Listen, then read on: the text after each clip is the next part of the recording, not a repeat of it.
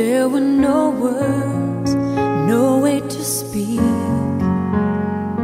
I would still hear you.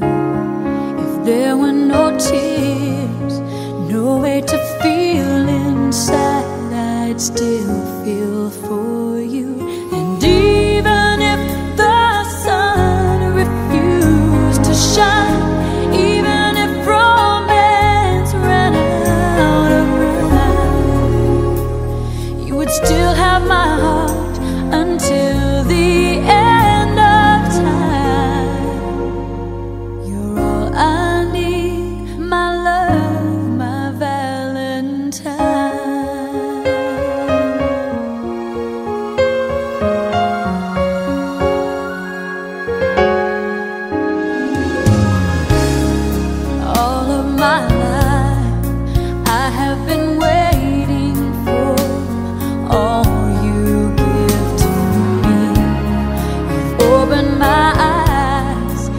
手里。